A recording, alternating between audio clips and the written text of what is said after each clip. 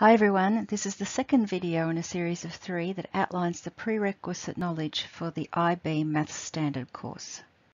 In this video we're going to be going through manipulating algebraic expressions, then we'll look at index laws, expanding, factorising and finish off with algebraic fractions.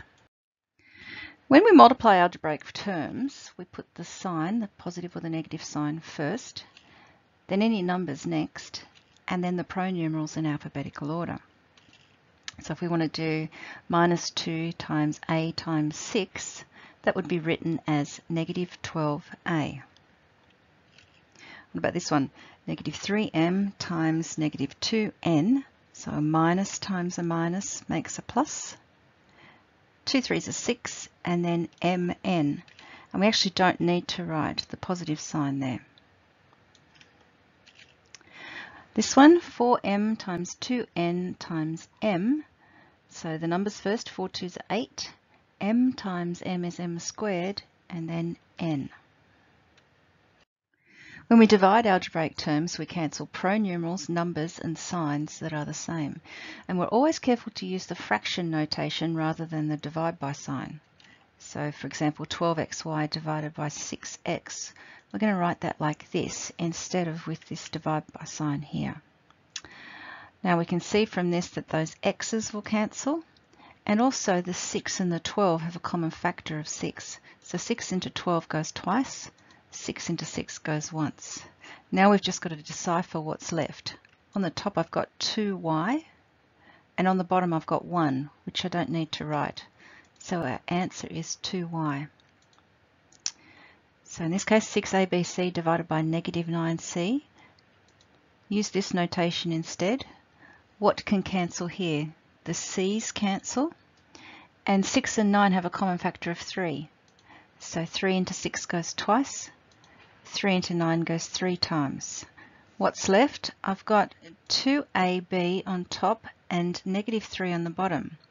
But you probably remember from the last video, we don't write a negative on the bottom of a fraction. It's going to float up. It can either sit in front of the 2 or in front of the actual fraction itself. So there's our correct answer, negative 2ab on 3. We can only add or subtract like terms. And by like terms, I mean they have to have the same pronumerals. So these x's are the same, they're like terms, and these y's are also like terms. So 3x plus 4x is 7x, 2y minus 1y is 1y. So 7x plus y is the answer. In this case here, a common error is to say 6a plus 3a and get the signs mixed up. And if you have the tendency to do that, here's a little trick. The sign in front of the term belongs to that term. So if we circle from the back, it shows you who belongs with what. So this is a 6a, this is a negative 3a. 6a minus 3a is 3a. 2b plus b is 3b. And there's our answer. What about this one? They are like terms. Multiplication with multiplication order is not important. So this is actually xy. So this is 6xy plus 3xy is 9xy. And then this one here, this one looks rather disgusting. Do we have any like terms there? Well, we've got this one, 3x squared y, and 7x squared y. But it's different to xy squared, and it's different to x squared y squared. So the only two we can collect together are these two. So our answer is 10x squared y plus 2xy squared plus 2x squared y squared. There are three index laws that we need to know. The first one says that when we multiply pronumerals or numbers that are the same, we add the indices. The second one says when we divide pronumerals or numbers that are the same, we subtract the indices. And the third one says when we raise a power to a power, we multiply the indices. Here's a couple of examples. So in this first question, because we're multiplying x's together, we're going to add those indices. That's going to give us 8. And then we're going to divide by x to the power of 4 so that'll be 8 take away 4 is 4. So our answer here is x to the power of 4. In this case, everything in the brackets has to be cubed. So we've got to do this 2 cubed as well. 2 cubed is 8. And then I'm raising a power to a power, so I'm going to get x to the power of 6, and then power to a power here, so that'll be y to the power of 9. So 8x to the power of 6, y to the power of 9. And finally, you can get questions like this where you've got a couple of things to do. We could do this multiplication first, or we can do the subtraction of the indices. I'm going to do this one first. So this is x to the power of 5 divided by x squared. So I'm going to subtract those indices. That gives me x cubed all to the power of 4. I'm raising a power to a power, so that's x to the power of 12. And there are three consequences of those index laws. Here's the first one. Anything to the power of naught is 1. The second one is that a negative index means 1 over the x to the n, or it means the reciprocal. So if I say x to the negative n is x to the negative n over 1, you can see how that's been flipped upside down. And the third consequence is the fractional index. So here if I've got x to the power of 1 on n, that's the nth root of x. Here's some examples. So this first one, 2x to the power of naught. So anything to the power of naught is 1. That's only that bit there. Okay, the 2 isn't raised to the power of naught. In fact, the 2 is raised to the power of 1. It's just we don't write that. So this is going to go, that's going to be equal to 1. 2 times 1 is 2. Remember how I said the power of negative 1 means the reciprocal? So this is just going to be 3 halves. If you want to check that out, on your calculator you've actually got a reciprocal button. So x to the power of negative 1. It's above the bracket. It's not very clear in my picture, I'm sorry. So put in any number, put in the 2 thirds if you like, and then do shift bracket, and it'll flip it upside down and give you 3 halves. 8 to the power of a third is the cube root of 8, which is 2. And then finally you can get a mixture, this sort of question here, 27 to the power of negative 2 thirds. Doesn't matter which order you do this in. You could square it first, you could do the cube root, you could take the reciprocal. I'm going to turn it upside down, take the reciprocal first, so that gets rid of the negative. Now I'm going to do the cube root. The cube root of 27 is 3, so that leaves me with 1 on 3 squared, which is 1 ninth. So I'd encourage you to do that a different way and just prove to yourself that you get exactly the same answer. When we're expanding brackets, the term in front of the brackets is multiplied by every term inside the brackets. So here, it means I'm going to multiply the 4 by the x and then multiply the 4 by the 3. And so answer will be 4x plus 12. In this case, I've got three things in the brackets. That's okay. I'm just going to multiply the 2x by the x squared, and then by the 3x, and then by the 1. 2x times x squared is 2x cubed, plus 2x times 3x is 6x squared, plus 2x times 1 is 2x. Be careful of negatives in front of brackets. They change the sign in the brackets. Let's have a look at why that is. This is negative 2 times x, that's negative 2x, that bit's easy. And then negative 2 times positive 4, which is going to give me a minus. Okay, minus 2 times plus 4 is minus 8. See how the sign has changed? What about this one? What does that even mean? This is a 1 here. Remember how we don't often write the 1s? So this is minus 1 times x, that's minus x, minus 1 times minus 5 is positive 5.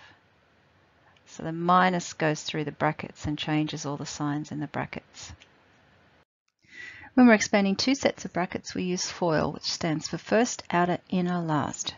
And so here's an example, and this is what it is. So first, then outer, inner, last.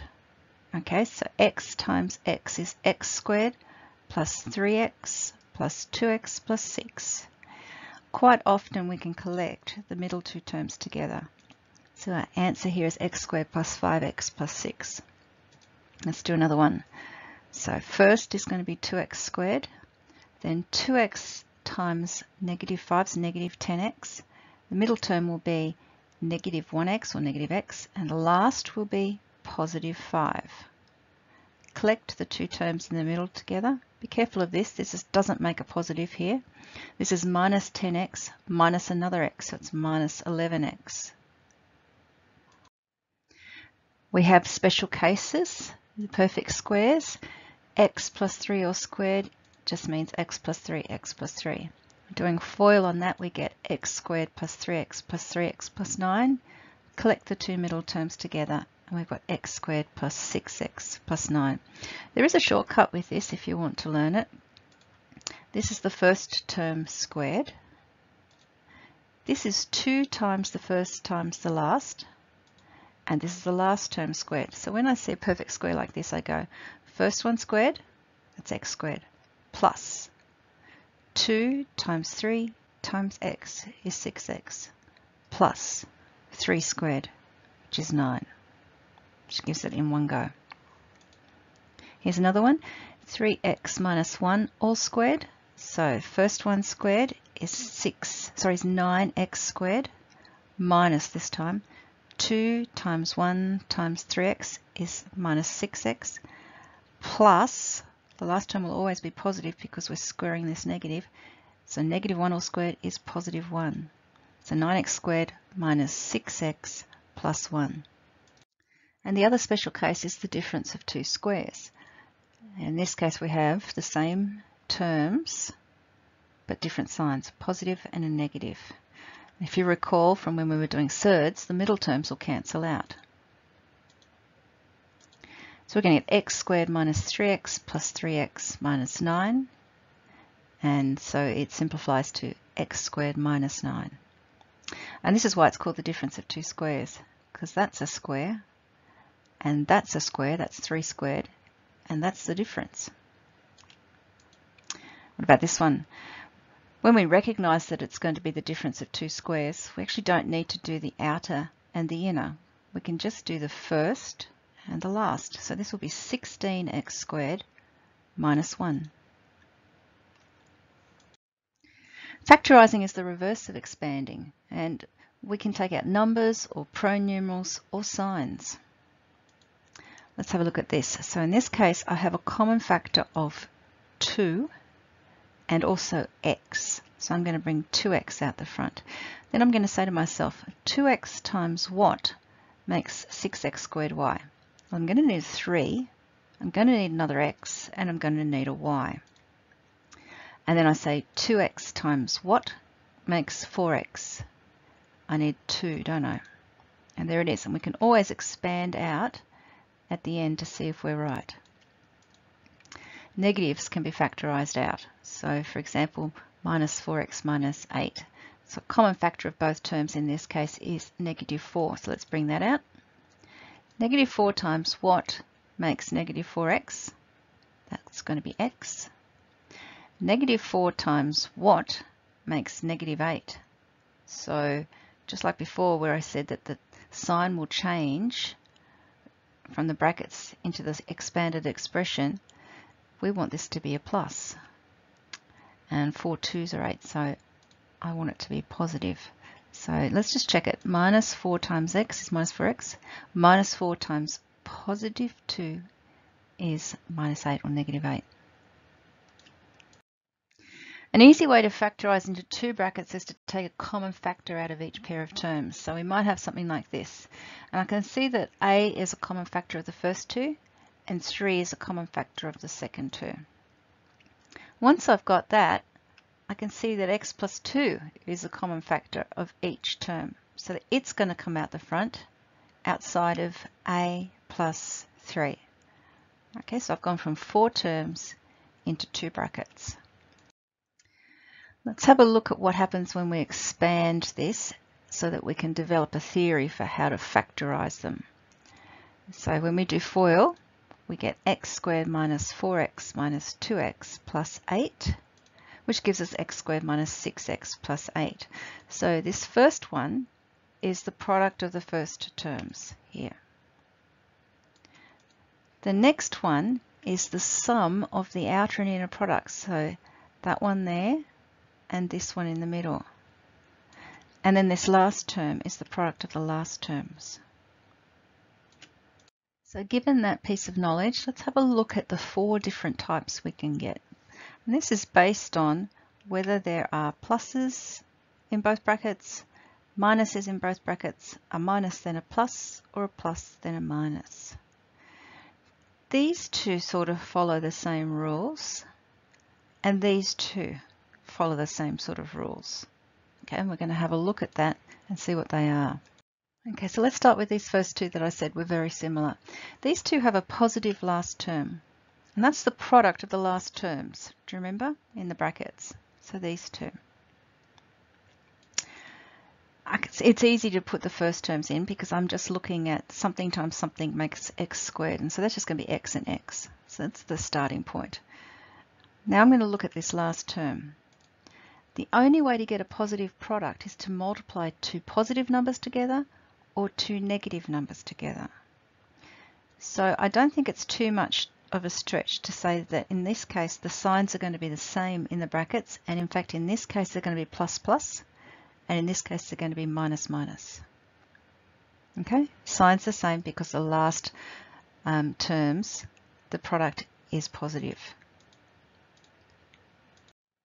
So now we're going to have a look at the middle terms. And the middle term is the sum of the outer and inner products. Do you remember that? So it's going to be this times this plus this times this. So I want factors of 6 that add to give 5, or which two numbers multiply to give 6 that add to give 5. And they have to be 2 and 3, don't they? Let's just check it. x squared, 3x plus 2x is 5x, 2 times 3 is 6. Going to be the same numbers here as well. Okay, it's just when adding, see how I've got add here, we're adding in a negative direction. So minus 3x minus another 2x is minus 5x. Let's look at the other two. So in this case, they have a negative last term. And that means the signs in the brackets will be different. Does that make sense to you? Because I've got to multiply a negative by a po positive to get a negative in each case. And what's going to happen with this middle term is it's not going to be a sum anymore. It's going to be a difference because we're changing direction. So I'm going to have a positive number there minus something. So once we know that, we now look at the middle term. So in this case, we're going to find a difference and we're going to ask ourselves which two numbers multiply to give 6 but have a difference of 1. And that's going to be 3 and 2 again, isn't it? Because 3 and 2 have a difference of 1. Now, it's really important which way round I put the 3 and the 2 in these brackets. So if I do 3x minus 2x, I get positive x, which is that very first one, isn't it? If I do minus 3x plus 2x, I get minus x, which is that one. So that means in the top bracket here, I want a positive 3 and a negative 2. And in this case, I want a positive 2 and a negative 3. Okay, so let's solve this one. Factorize x squared plus 9x plus 8. So I'm going to write down my two brackets like this with the x in the front. Look at the last term, it's positive. This means the signs are the same. Look at the middle term, it's positive, so both of the signs are pluses. That middle term is going to be a sum. So we're going to ask ourselves to find numbers that multiply to give 8 and add to give 9. So what two numbers multiply to give 8 and add to give 9? It must be 1 and 8. Doesn't matter which way round they go, so there it is, factorised. Let's check it out. x times x is x squared. This is 8x plus 1x is 9x, and the last term will be 1 times 8 is 8. Okay, what about this one? Look at the last term, it's negative. This means there will be different signs in the bracket. It also means that the middle term will be a difference. So we need to find two numbers which multiply to give 12 and have a difference of 1. Oh, well, that's 4 and 3, isn't it? Which way round do we want them? Do we want positive 4 and negative 3 or negative 4 and positive 3? Let's say we want this to actually end up being negative. So we want the bigger number to be negative. So we want negative 4, positive 3. So here's some questions if you'd like to practice them. So pause the video and write them down and have a go and then come back and I'll give you the answers. Here are the answers.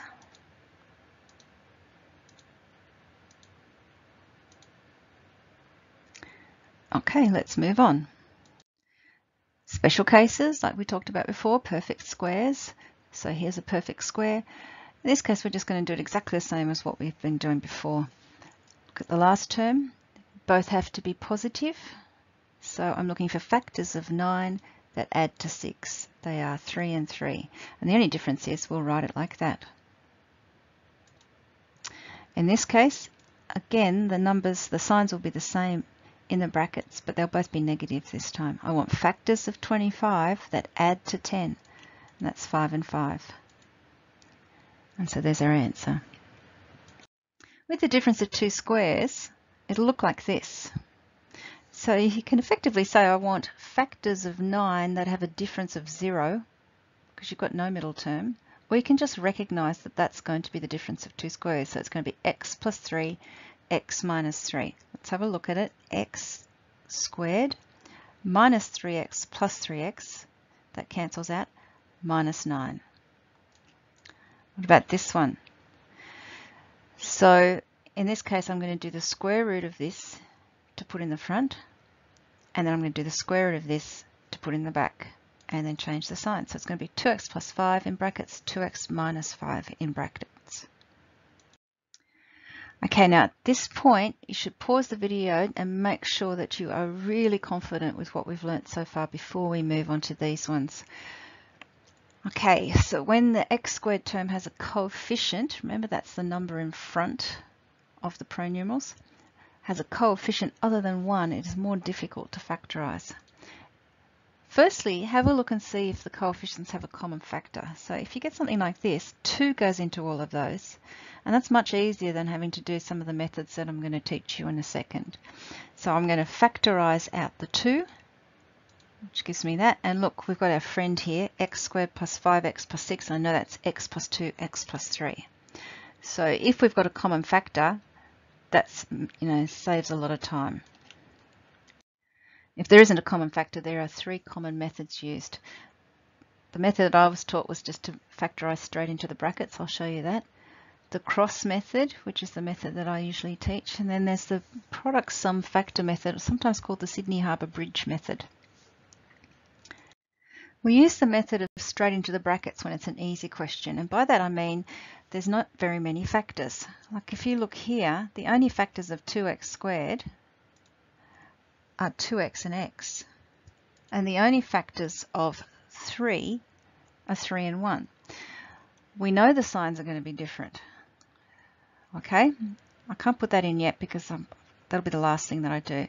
I've got to get this 3 and the 1 around the right way. So if I put the 3 here and the 1 there, I'm going to get 6x and 1x.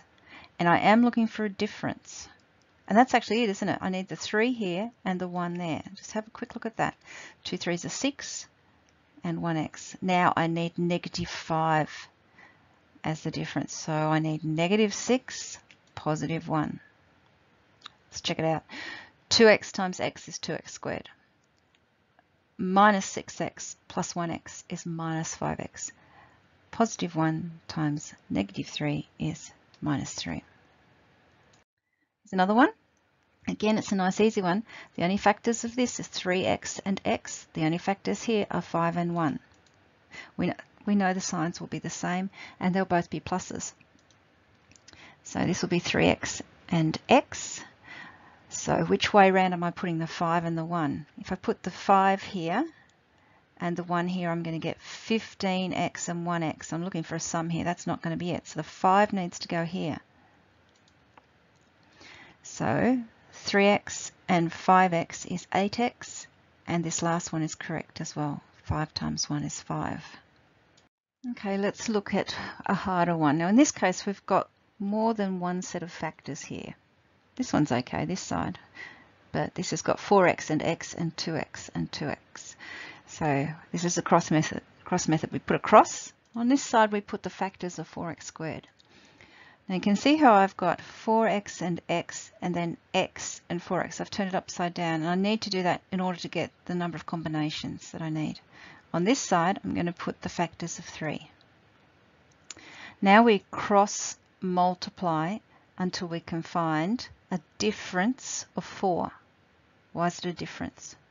Because this is a negative. Signs are different. All right, 4x times 1 is 4x and 3x. That has a difference of 1. It's not that. Here I've got x and 12x. That's got a difference of 11x. Must be this one. That's 2x and 6x. Yes, that has a difference of 4. These are our two brackets. See the 2x, 3, 2x, 1. Now I've just got to get the plus and the minus around the right way. I want negative 4. So let's have a look what we've got. We've got the 2x there and the 6x here. I want the 6x to be negative, so that's the minus there. And there's our answer. Okay, the other method that's a very common method is the product sum factor method or the Sydney Harbour Bridge. And you start off by multiplying the first and the last coefficients. So there's your Harbour Bridge, if you like, um, which is 12. Now we do everything the same way. We say the signs are going to be different. I'm looking for a difference. But in this case, I want factors of 12 that have a difference of 4. Factors of 12 that have a difference of 4. That's 6 and 2, isn't it? All right, let's set it up. We're going to split the middle term into 2. It's going to be 6x and 2x but I want it to be negative 4x. So I'm going to go minus 6x plus 2x. This is the tricky bit. Okay, so I did all of this so that I could get that split out. Now we factorize the first two, factorize the second two, and then join it together. So common factor here is 2x outside of 2x minus 3, and that actually can't be factorized, so it's just plus 1 outside of 2x minus 3. This is a common factor, bring it out the front, and there it is. It doesn't matter which method you choose, pick one and, and just practice it until you're good at it.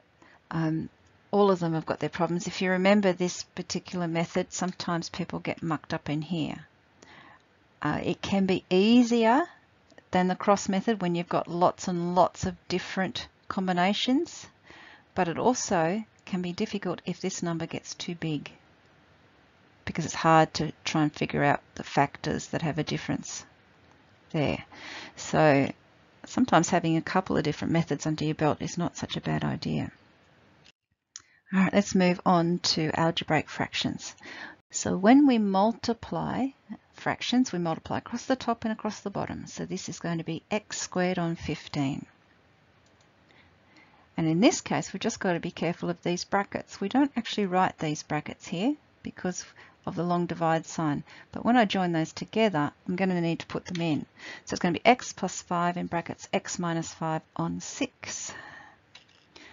Sometimes we can cancel, and we can cancel anything on the top with anything on the bottom provided this sign here is a multiply.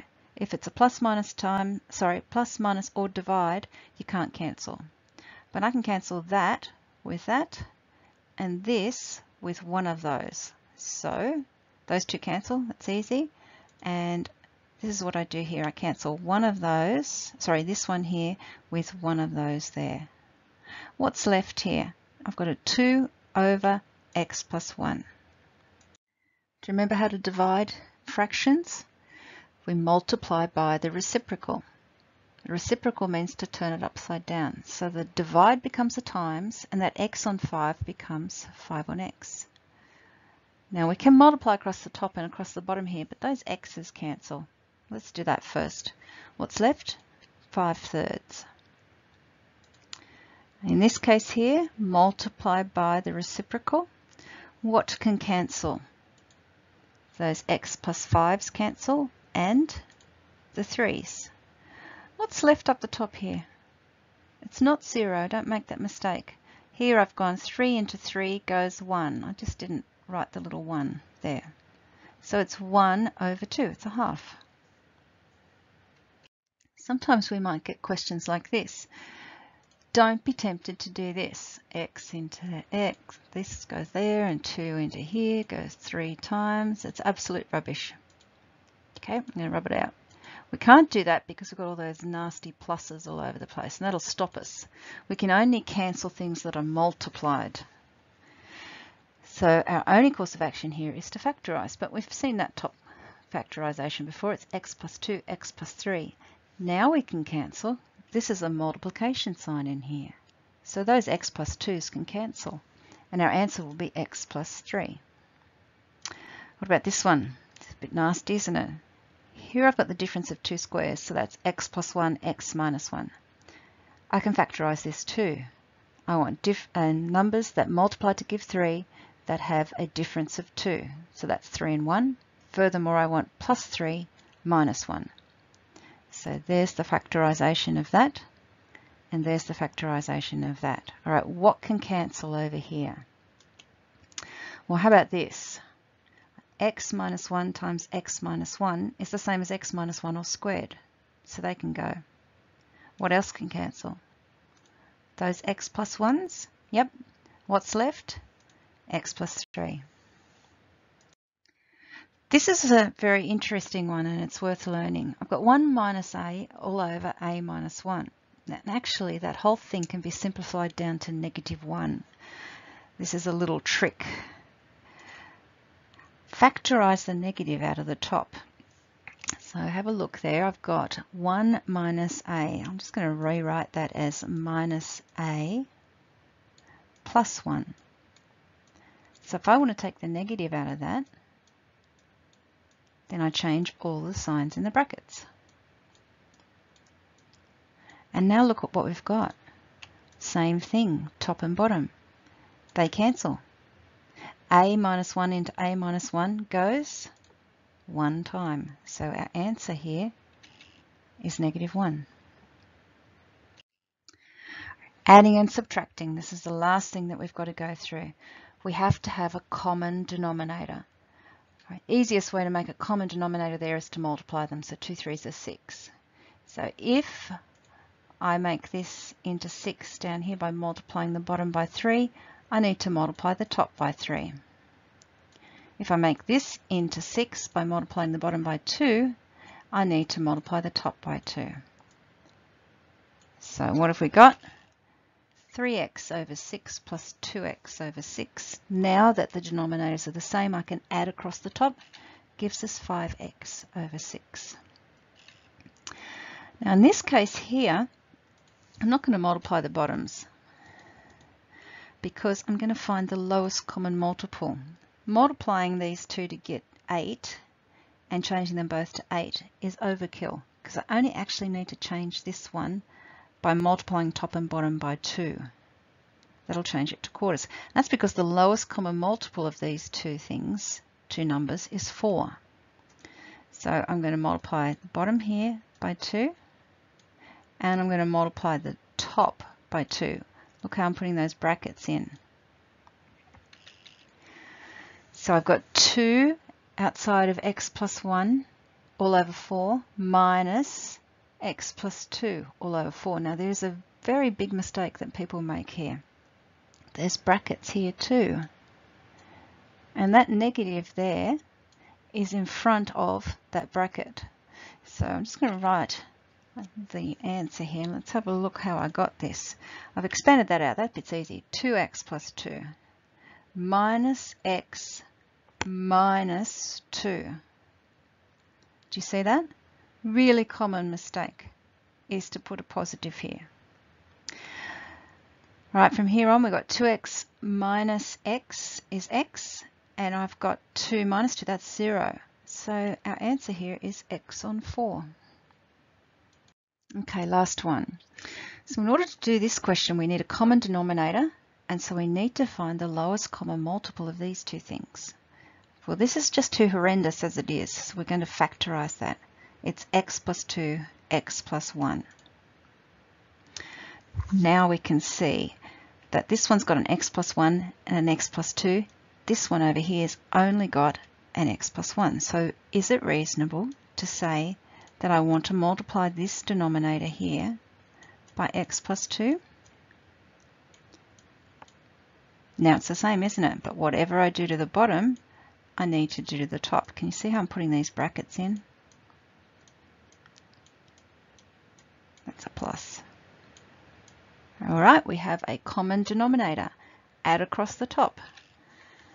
Now expand, and that will give us x squared plus 7x plus 14.